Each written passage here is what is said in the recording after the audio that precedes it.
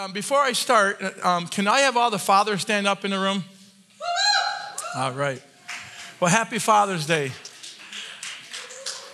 I, I tell you, be, stay, stay, keep standing because I want to pray over you guys real quick. And I'm feeling led to do this. If not, I'm, this is a good idea. I think I'm participating with the Holy Spirit. But um, what a good thing um, being a father is. And I, and I, I love my wife, and, and, and, but when my daughter was born, there's a different love that came into my heart. I'm like, oh my gosh, what is this?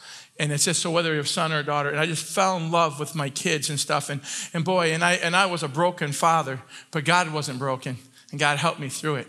And my kids today are um, running to God. And so I want to talk to some of the parents if you have some prodigals out there. They're coming home.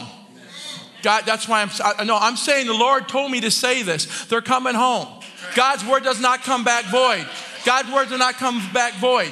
And there's young kids, fathers with young kids, they have destiny and purpose. And fathers, you show that pers- purpose to them. You show that love to them. You show them the good father by looking through you guys. So, what a good day to talk about the good father. Amen. So, blessing over you and all the fathers in this room, Father God, we thank you that you're not done with us. You're not done with our children. In the name of Jesus, amen. Amen. amen. You guys can sit down now.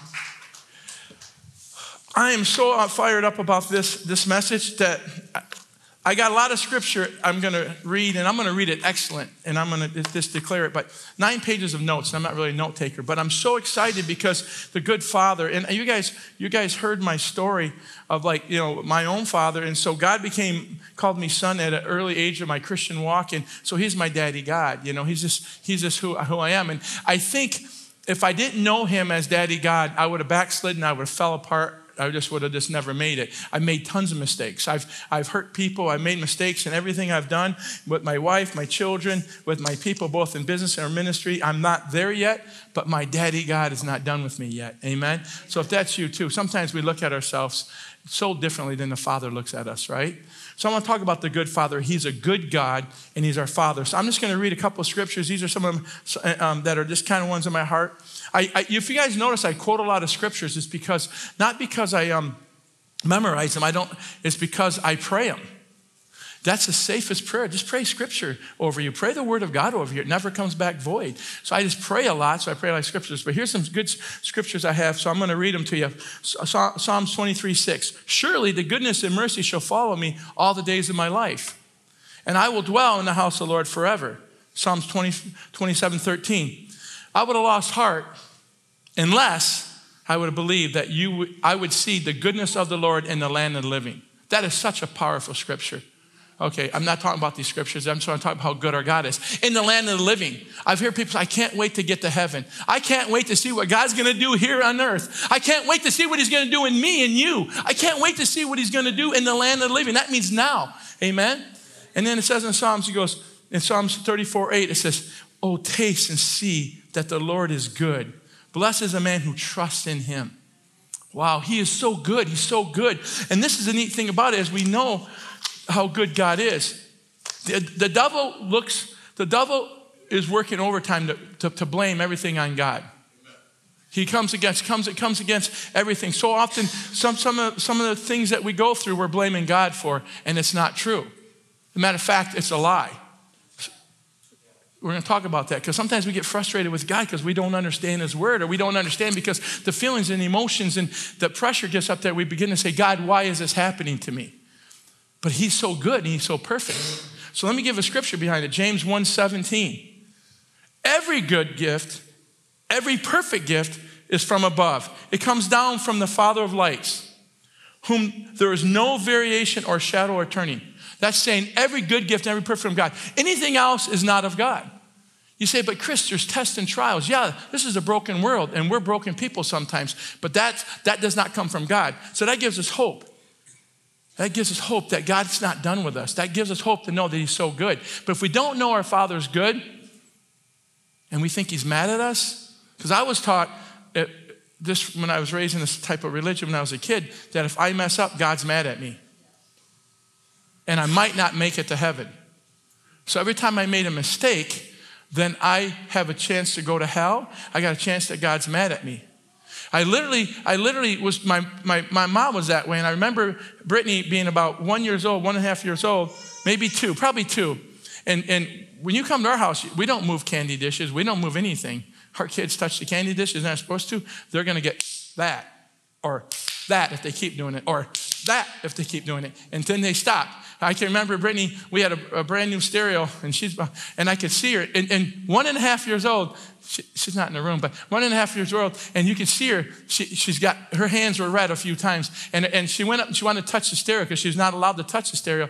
And she looked for one and a half. I mean, she wasn't one. She was. Just, she looks, and she starts doing all that. I'm telling you, it was just the truth. So um she went over to my mom's house, and my mom always had candy on the things and all these little things. And so um, she, kept, she, she, kept doing it. My mom would just take everything and she started sticking everything on the shelf. I said, Mom, don't do that. We don't do that. Don't do it here. We don't do it at home. Don't do that. And then one time, one time she, she did something, and she, she, she did something specifically wrong. She's about two, two and a half years. And I spanked her. And I spanked her, and I said, I love you. And I, I, I spanked her, and, and, and my mom goes, this is, this is a true story my mom goes, We're very opinionated and we're very direct. We don't, that's the way I was raised. We don't, she goes, You make me sick.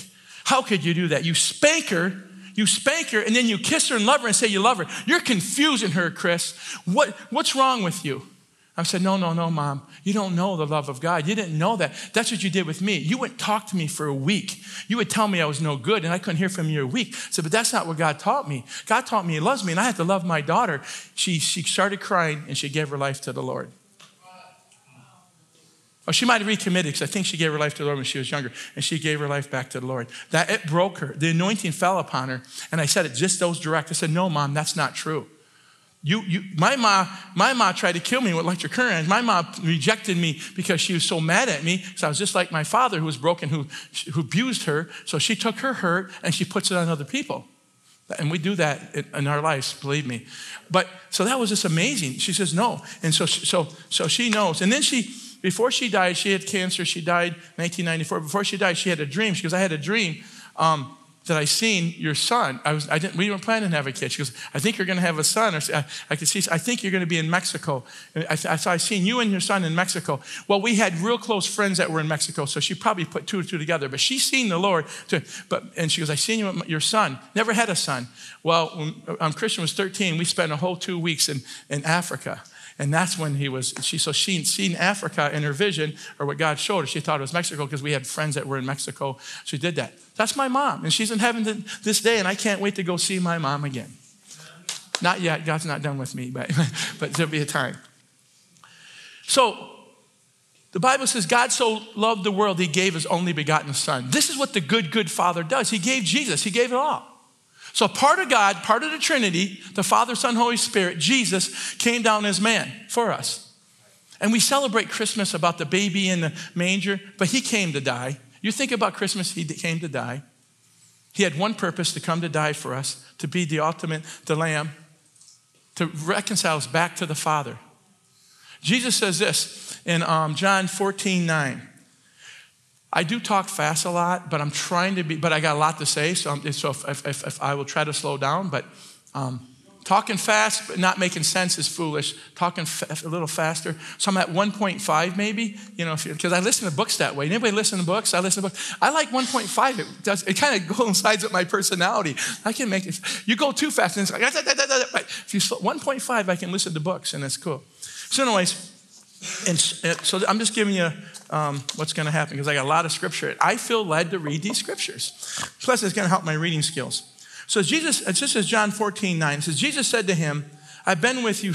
This is when Peter goes, I haven't even seen, um, excuse me, um, Philip goes, I haven't even seen the Father. And here's what Jesus' response to him. Jesus said to him, Have you been, I've been with you so long, and yet you have not known me, Philip? If you have seen me, you have seen the Father. So how can you say, Show us the Father? I mean, that, that was a, a loving rebuke to um, Philip. Say, what do you mean? I've been there so long. Think about this. Everything Jesus did on earth before he went to the cross, how he loved people, how he moved with compassion, how he didn't think and see people differently.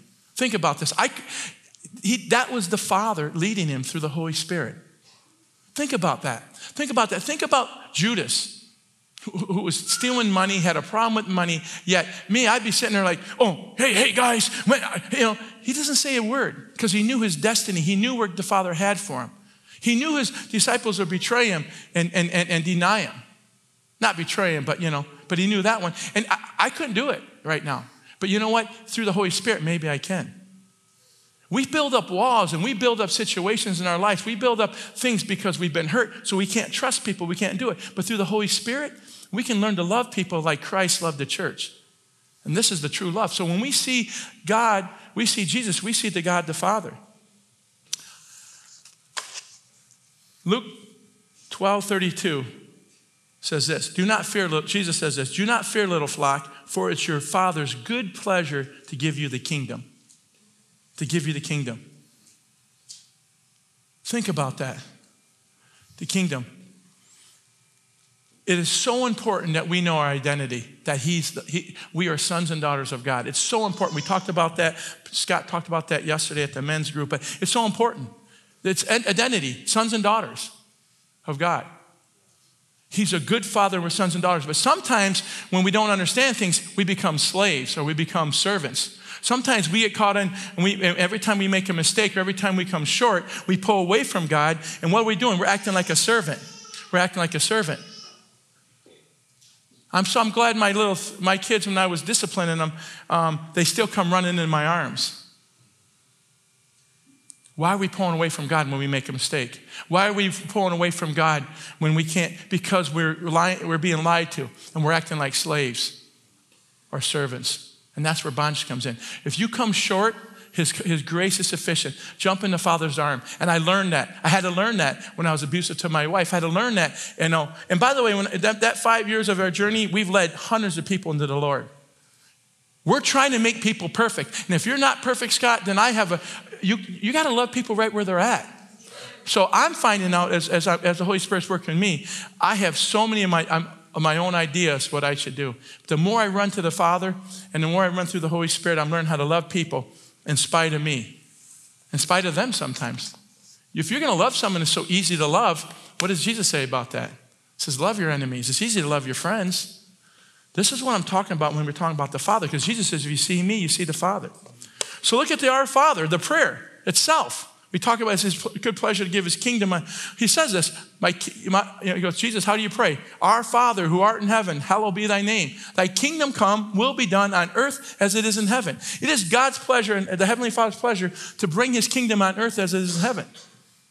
That's what, this is what we're designed for as believers. This is what we're called to. This is our mandate to bring kingdom living and walk in kingdom living, kingdom victory for everyday life. The problem is we all believe we have, we have to walk in kingdom living, but we got to walk in kingdom freedom and kingdom love and kingdom power. We've got to understand that. So, how do you do that? I believe it's through the Holy Spirit. It's the only way. We think of Jesus as God, we think of Jesus as God. He was God, but he came down as man. And everything Jesus did, he did through the Holy Spirit and power. Everything. He still had the same, he was still man. He was God, it, it came down in flesh. That's why they call him the Son of God, they call him the Son of Man. So he was God, but he operated through the Holy Spirit and power. He wasn't, so, so what, what's that mean, Kris? What are you saying? What's your point? That means we can operate the same as Jesus operated and through the Holy Spirit and power. And Jesus even said. He says, The works that I do, greater works that you'll do because I go to my Father. Jesus also says, I'm going to be raised up in heaven. I'm, I'm, going to be sitting at the right hand of Father. Jesus, the Bible says, Jesus is raised up by the uh, right hand of the Father, interceding for us, that we can walk in that victory and that freedom. The Bible says that we're more than conquerors because Jesus conquered. He conquered, so we're more than conquerors because we get to receive everything that Jesus has done. This is where the church is going to have to wake up and say, man, that's so true. But we get tripped over every circumstance and every situation. So I love this one, and, and this is this one, and I, I was just going to read, like, you know, he talks about if a father asks, you know, about um, if a father asks for uh, bread from any father among you. But I want to go further, a few verses back. I love this. It says this So I say to you, ask and it will be given. It will be given to you. Excuse me. Ask and it will be given to you. Seek and you will find. Knock and it will be open to you. For anyone who asks receives, anyone who seeks will find, and anyone who knocks, it will be open to you. That is Jesus' word. You seek, you find, you knock. That's his word. And then look how he keeps moving on. Then he goes this, he goes, so anyone seeks, asks, will find. To him knocks, be open. If a son asks for bread from any father among you, will you give him a stone? Or if he asks for a fish, will you give him a serpent instead? Or if he asks for an egg, will you offer him a scorpion? Then he goes, If you, being evil, knowing how to give good gifts to your children, let's talk about being evil. What are you saying? Being natural, just being in your own understanding, not being spiritual. You, being evil, knowing to give good gifts to your children, how much more will your Heavenly Father give the Holy Spirit for those who ask Him? Wow. Wow. Think about that. You know, I heard this speaker, or this, um, this preacher talk, and he says sometimes we think that we're, we're human, hum, we live in a human realm trying to be more spiritual. But the reality is, we're, if you're in Christ, you're a spiritual being living in a, in a natural world, living in a natural thing. But we're trying to do the other way because that's the wrong thinking sometimes. We're, we're trying, we're, we think we're natural people trying to get spiritual, trying to do spiritual things. That's not true. The truth is, when you're in Christ, Spirit dwells in you, the Holy Spirit. You are a spiritual being, being dealing with all this natural crap that we have to deal with. I said crap, but it is crap, right? Anybody else think some of the crap that we have to go through? I mean, let's just get real. I don't think that's too bad, but um, I think it's that. Sometimes I like to call it worse than that, but anyways, I'll keep it PG. Um, I, I like John 14, 16 says this, and I will pray. This is, I will pray that the Father, I, I will pray that the Father, and He will give you another helper, that He may abide with you forever. Wow. Let me keep reading because he's going to explain who's the helper, right? So he keeps going, John 14, 26. If you keep reading, just this little segue if you just want to get stirred up and you're just kind of struggling through life, read 14, 15, 16, and 17 of John. I could read that. You could, you could have a go to do that every month, if you will. It's, it's just four chapters. It's, I, I think my, one of my favorite Bible teachers, Andrew Wommack, says that's the Christian survival kit. Just read those scriptures because that's when Jesus is going to the cross. He talks about being your heart being troubled. Then he goes all the way through as he prays for us. And so everything he says in there, that's for us today. So, so John, um, so John 14, 16, excuse me, um, he says, John 14, 26 says this, but the helper, the Holy Spirit, whom the Father will send in my name, he will teach you all things and bring to you remembrance all things that I say to you. Wow. You know what? That scripture is amazing. But sometimes, sometimes when we're struggling, sometimes when our back's against the wall, sometimes when en- enemies throwing darts at us, sometimes when we don't know what we're doing, we forget that the Holy Spirit can bring words of memory if we're pursuing God, if we're seeking God. Sometimes, sometimes me and Lisa, sometimes we're like, just to be honest, we, we just been so catching ourselves often. Sometimes I just want to go home and shut down.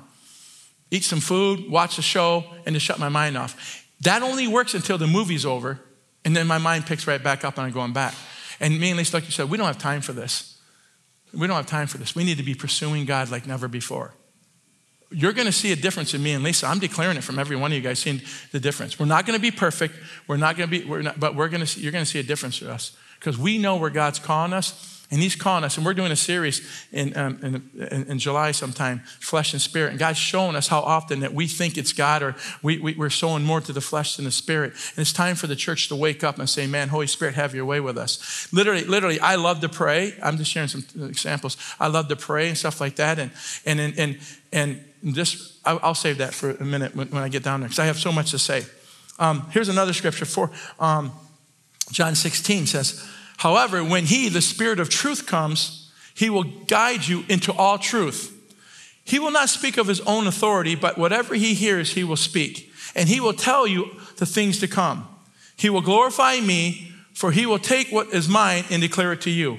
All things that the Father has are mine. Therefore, I say he will take what's mine and declare it to you. So now we're talking about the good father. It's always been the father's plan.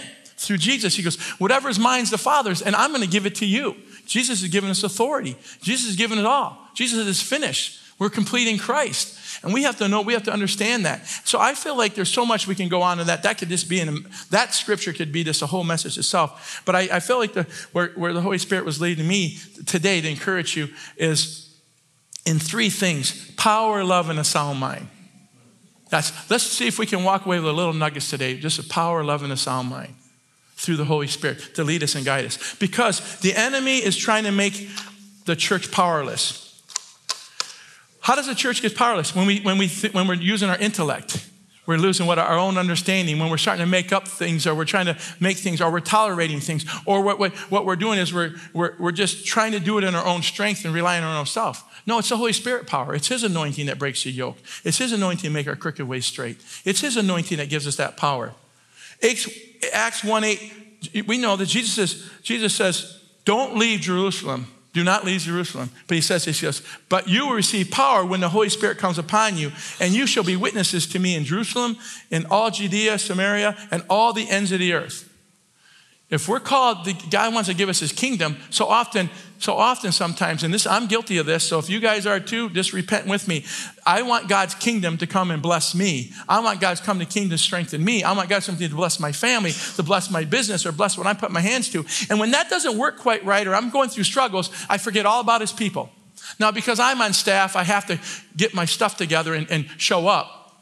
But no, I love to show up. Do you know, do you know that this is the best part of my life is to encourage others? I've learned that, uh, uh, uh, like when I'm down and out, if I sit there and suck my thumb, I'm going to drown.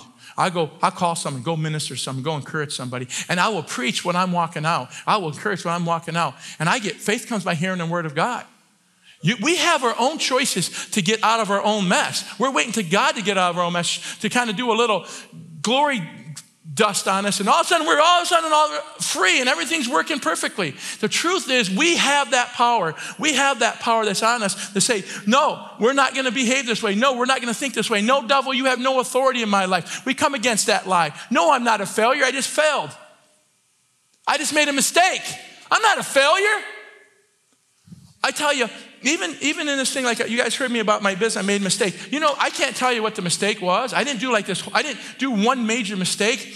I just, just, I just, I, just, it's just part of life, the economy, um, having all your eggs in big, one big customers. But I made a, but my business got struggled. You guys heard about. It. I said I got walked away from shame and all that. But you know, and that after that shame was on me, I, I had to retrain my thoughts and my hearts because I thought differently. I was like, well, I, I made a mistake. I let my father down, and he blessed this business like crazy. So I'll just take I'll just take a little nugget. God showed me what He had planned for. He said He goes He goes because He, he knows our hearts and minds. He goes, you've seen prosperity, you haven't seen wealth yet. But now because I screwed up a little, because I made a mistake, I don't know exactly. And my mistake was I knew God had an answer. God knows my future before I know it. He has a plan for me and He has a plan for you. But I had I wasn't listening to that. So that's my mistake. I wasn't drawing near to God every day of my life. You go, Kris, you're talking about works. I'm talking about living in Christ with the Holy Spirit and power every single day of your life. And if you think you can take a week off, you're sadly mistaken. You cannot do that. He loves you. He loves me. We can't play church. We are, are, we, are we spiritual beings learn how to walk it out? Now, I'm not yelling at you guys because I'm yelling at you guys. I'm yelling at you guys because I love you guys. And I'm like, I'm learning this. I'm like, oh my gosh. But literally, God started showing me because I'm like, okay, if we just got there, if we just can get by, we just can get by. That, if we just can make these things work, that'd be okay. That's a poverty spirit and that does not come from God. Think about what God has for each one of us. There's people that have been wounded in relationships and, and they can't even live the freedom anymore because they can't get healed of that relationship or the wounds from the past and they're just, it's sucking the life out of them. God wants you healed. He wants you delivered. He wants you free. He wants you living because He's a good, good, good Father. Amen? Amen? He says this, he says this in um, 1 Corinthians, he says, um, Paul talks about this. He goes, my, he goes, and my speech and my preaching were not a persuasive words of human wisdom, but demonstration of the Spirit and of power. Of this demonstration of Spirit and power. So even the Holy Spirit, you can walk in power, but the Holy Spirit can even give you the right thoughts and the right things. Amen? It says this in um, 1 Corinthians 25, 22, 5. If you keep reading, it says, and it goes, that your faith shall not be in wisdom of man, but in the power of God. So often we hear something. We hear something like, Dan's gonna die 16 years ago. And I remember that. I remember that quickly because she was working for us. You were in, that, in, in, in the prayer room. And, and And, and, and she goes, she goes I, I was told that he's got 24 hours to live. It's going to happen. And Jamie Grinwis says, she's kind of started crying. She goes, I don't believe it. I don't believe it. Who's going to join me? He's going to live and not die. I just don't believe it. You remember that? You don't? Yeah, you, you worked for us for a little while. Okay, okay. Come on, let me convince you. No, I'm just, okay. Anyway, she said that. And okay. And he is going to go home when, he just, when God take him home. You're still here. And by the way, my life has been changed because you're in my life. That's right. And me and you have different personalities, but the way you love God's people and the way you love people, you just you inspire me. My life has been changed because of you. And I'm honored to call you my friend and my partner because we're, we're elders together. That's right. I'm telling you. Yeah. I, I love you so much, Dan. You, I just want you to know how much I love you. You're an inspiration for all of us not to give up. You hear stories when he was sick the first time, he crawled, played music when he was on the worship team, crawled, sat in a chair, played music. I guess Kevan said sometimes he just did the best he could, crawled back to bed when he was on his deathbed. He would still, if he, because he was signed up for the worship team, he showed up. We can't even show up consistently at church. And this man's dying, and he crawls up on the thing and plays his guitar and then goes home. What an inspiration. We honor you. We love you. You're amazing, Dan.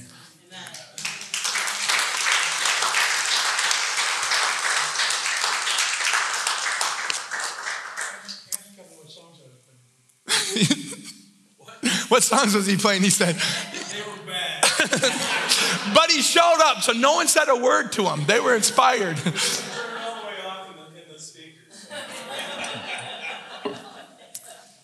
Romans 8:39 says this.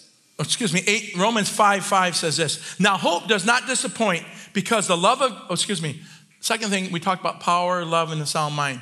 I'm to talk about love for a few minutes now. And I'm trying to get this done, so bear with me. Um, um, so let's talk about love. It says, Romans 5 5 says this. Now, hope does not disappoint because the love of God has been poured out us, uh, poured out in our hearts by the Holy Spirit who has been given to us.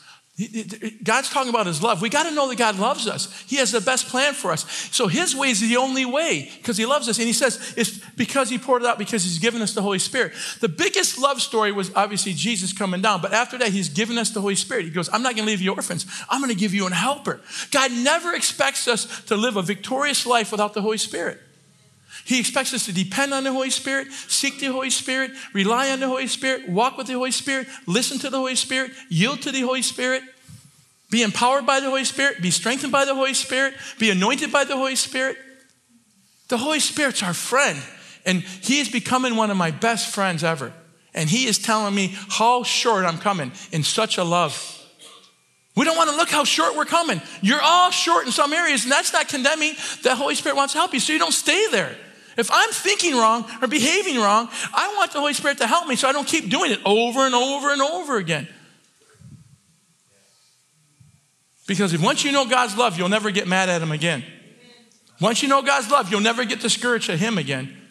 Once you know God's love, you'll never fear like you used to fear again. Because perfect love casts out fear, and He is love and He is perfect. That's His word, that's His truth. Matter of fact, I'm gonna, I'm gonna, Romans 8:39 says, nor death, nor death, um, nor height, nor death, nor other created things shall be able to separate us from the love of God, which is in Christ Jesus our Lord. That's a longer scripture. I just snuck the last part of it because I, I have so time. But nothing can separate us from the love of God. Nothing, including yourself. You can't separate yourself away from love of God. You can't make a mistake that's too big for God. You can't screw up too big for God. You can't do it. He'll never leave you nor forsake you. But when we make mistakes, we come short, when we get frustrated, we think God has left us. He never left us, He's always been there. Amen. Is this hitting home for anybody? I'm getting all excited. As you can tell, I start talking fast and louder and louder. Ephesians um, 3.19 says this, to know the love of Christ, which passes knowledge, that you might be filled with all the fullness of God. What a powerful scripture. It, that know means intimacy, to know, like um, um, um, Adam knew Eve. Intimacy, to know his love, not talk about it. Oh, when we learn that when we're little kids, Jesus loves you, this I know, the Bible tells you so. But when you know his love, when you experience that love, don't ever forget it. But the enemy so often knocks us around and we forget that love. We start to doubt, we start to forget that love. When you know God's love, don't ever let it ever leave your mind and your heart. The Bible says the Holy Spirit will bring it back in your remembrance how much He loves you. You know when it's hard? To, um, you know when, when you forget about that love? Is when you're not loving others. Because they didn't do what you want them to do, or they didn't say what they should have done, or they did that. Wow. And I'm guilty of it. So please love me. Because anybody in the room I've hurt, just please love me. I'm on the same journey as you are. Man, think about that. Think about that. You know how often you see someone who's not saved? They can spit in your face, they can talk behind your back, and you're like, you're like, you just love them anyways. Cause, oh, cause, but a brother or sister does a little thing wrong, and oh my gosh, Scott, you know what so and so did, or you know what so and so do, and you just get all upset and you think about it all night long. No, I'm just the only one. Okay, maybe, maybe not. Come on, this is the truth, and let's just get free in that. What are we doing? This is just foolish. If you, did I call you foolish? No, I said that's foolish. If you're doing that, then you could be foolish. I'm just saying, because I know I've been foolish because I've done that. I don't want to do that anymore. I want to walk in that love. I want to love. And I want, so you know what I do when I start getting that way? I pray for that person every day, five or six times a day for weeks and months. That's why I love your daughter. She prayed for her friend for 30 days. Way to go. By the way, that young lady has a big plan in her life, and God, I can't wait to see what God has for her. I'm going to end. I'm gonna, my last one is about sound mind, and um, this is the most. I mean, obviously, the love of God is the most empower, are most important. But the sound mind is where I think a lot of us get tripped up on. It's our thoughts. It's not our hearts. I mean, I could look in the room. I almost know every one of you personally, or met you and know you. I mean, I mean, our heart. We wouldn't be here today if our hearts wasn't for the Lord. But our minds will knock us around. A man thinking his heart so easy. You start thinking garbage, you'll become garbage. You start thinking like a slave, you become a slave. You start thinking like a hater, you become a hater. You start thinking like a fearful person, you'll become fearful. Think about the power of the mind.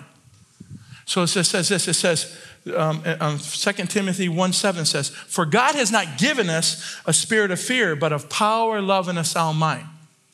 So fear can so often destroy the, how we're thinking. It can try to um, thwart, is that the word? Um, or, or destroy, or just, yeah, that's Thor, okay, good. Way to go. I love it. I can hang around Kevan, I'll get smarter just talking to Kevan.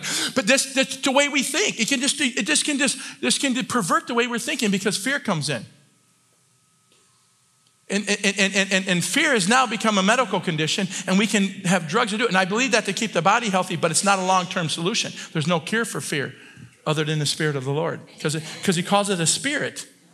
So med- medication can't fix it. It can help it so you don't destroy your body, but it's only temporal. God wants to bring healing to people that are stuck in fear and anxiety. He wants to do that. You know, you hear me say that all the time. You know why? Because God has called me to the church to help people walk out of fear because I'm trying to walk it out.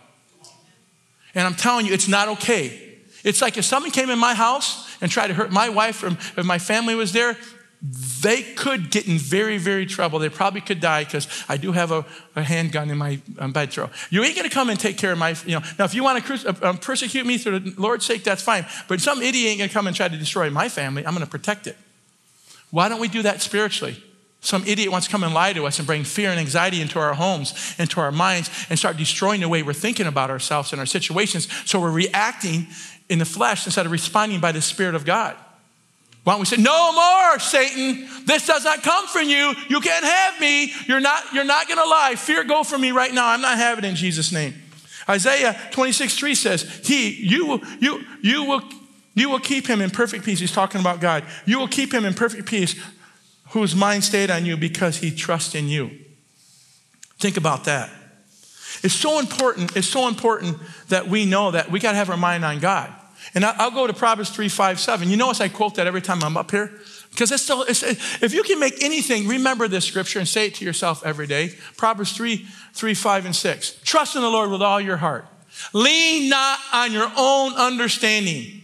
Acknowledge him in all your ways, and he will direct your path. He keeps going, but I didn't write that. It says, Do not be wise in your life. Fear the Lord and depart from evil.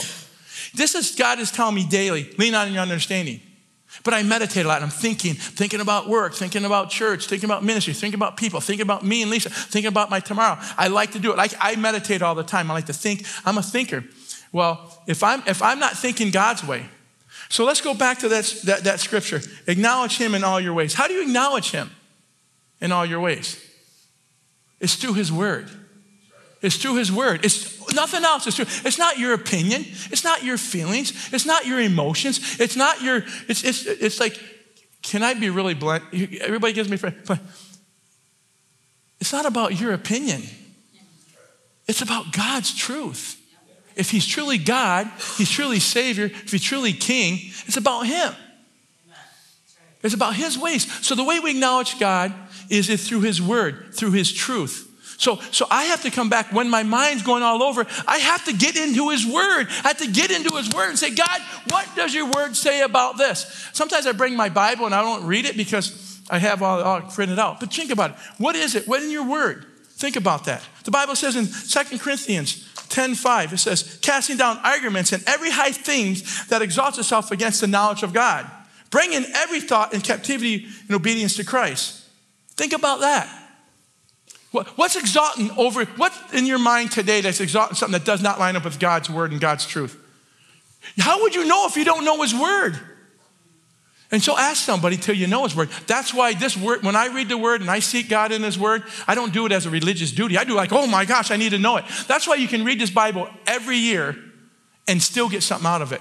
You can read a scripture every day. How many times have you heard a scripture? Someone gets up here and, and you hear a scripture, I'm like, oh man, that's good. I didn't see it that way.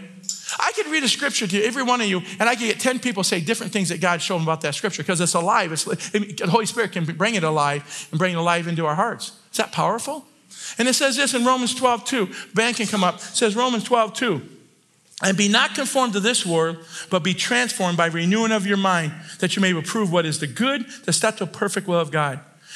Paul's telling them, if you, read, if you go to um, Romans 12, 1, if you want to carry that story, he goes, I beseech you, I urge you, brothers, to present yourself a, a living, a sac, living sacrifice, holy acceptable God, which is, by re, which is reasonable, he says. Holy acceptable God. Then he says, not be conformed. God's calling the church to be set apart.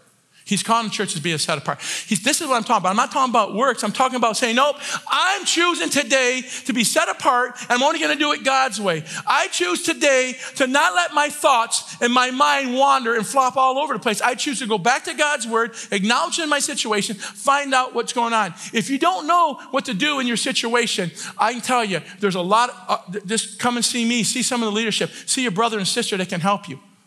Because there's the word, there's an answer for any situation you have in God. But but you notice how he says this? As you're being trans, as you renew your mind, you're being transformed. You become a different person from glory to glory in the image of our Lord Jesus Christ. You're no longer a person that's been stuck in this rut because you've been set free and you think differently. And the way, the way you think differently, you behave differently. And you become changed. And people can see it in you and they'll follow that. And they'll say, I want what that person has. Uh, that, is that the God they serve? Is that the person they have? That's, and then it says that you'll be able to prove what is the perfect will of God, the good, acceptable, perfect will of God. Do you know God has a perfect will for each one of us? Does anybody can raise your hand and say, I know God's perfect will for me right now? I don't know. I'm walking that journey out. You only know a little bit, Scott. You need help. You don't know it. no, we all need help. Uh, is that not good, guys? Is that not where I'm going? I, I, I did talk fast, but did I get across something? That God is good and the Holy Spirit is your friend and run to Him, run to Him. The Holy Spirit will help this Bible not be dreadful.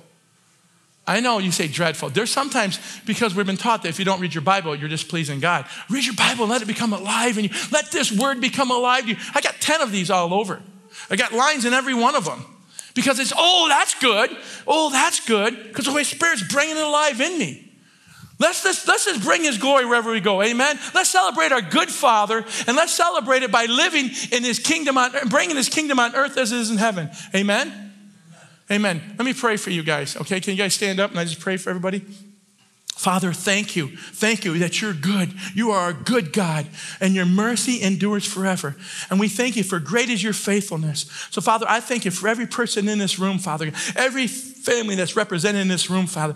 Everybody, we thank you that you're faithful to complete the good work you started in us. And we thank you, Father God, for this open our eyes to see, open our ears to hear, and open our hearts to understand. Let your word come alive in our hearts. And Holy Spirit, we yield to you. We say, have your way with us today. Please join me in that. We yield to you, Holy Spirit, not me. We, we yield to you, Holy Spirit. We yield to you, Holy Spirit. We yield to you, Holy Spirit. Have your way with us today. Let us leave change from glory to glory. In your name, Jesus.